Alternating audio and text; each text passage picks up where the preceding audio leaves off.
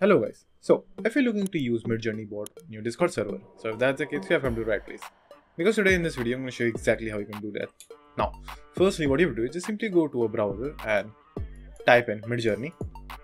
Then just simply open the first link, which is Midjourney over here. So as you can see, I have already created an account over here. But for some reason, if you don't have one, I'm going to show you how you can do that as well. So first, let me sign out from here. Now, to get the Midjourney bot, all you have to do is just simply click on join the beta over here. Then it will open Midjourney. So over here, make sure you are logged in with your Discord account in a side panel or just previously log in your Discord on this particular browser, which you're going to use for Midjourney as well. So after you've done that, just simply click on continue Discord. So as you can see, it didn't work.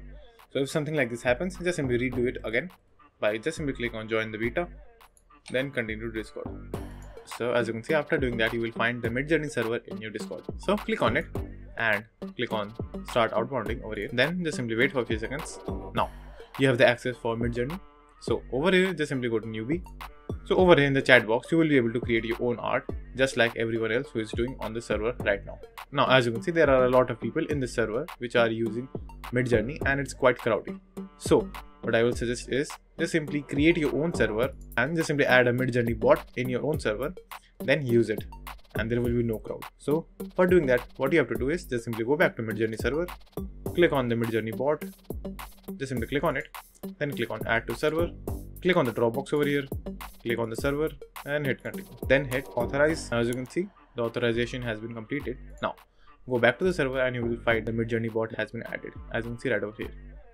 Now to see the Midjourney bot, you can enable the show member list over here that will show you the bot. Now, to get something from Midjourney bot, firstly what you have to do is just simply type in backslash imagine. Now, just simply enter your prompt, whatever you may like. Like, for example, a cyberpunk style city landscape in 4K. So, after writing a prompt, just simply hit enter. Now, you can also check out few settings that Midjourney provides. So, for doing that, again, backslash settings.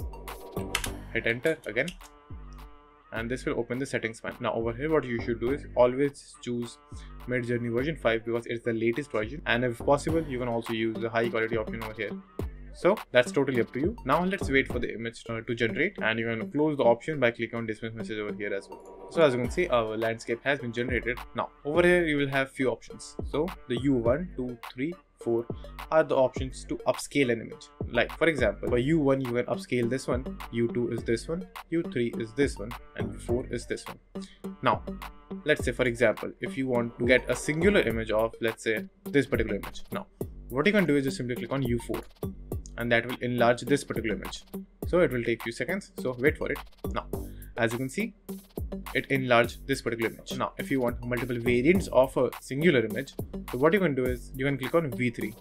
So what V3 does is it will create multiple variants of a singular image. So for example, V1 is this one, V2 is this one, V3 this one, V4 this one. Now, if you want variants of a particular scene or an image, let's take this one for example. So what you can do is just simply click on V2 over here and it will create four variants of this particular image. You can scroll down and see that it has started working. So wait for it to generate now as you can see it created four different variants of that particular image as you can see right over here.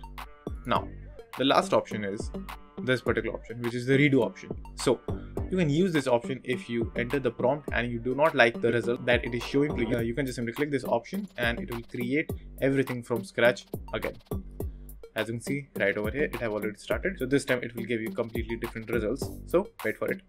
So as you can see it gave us completely new result as you can see right over here. Now let's say if you want to download a singular image in highest quality for doing that firstly just simply choose the image just like that. Now click on the image and then choose open in browser. Now all you have to do is just simply right click save as image and save it on your desktop. Then just simply open it and you will have the image so that's it. And thank you for watching. And do like and subscribe to my channel. And take care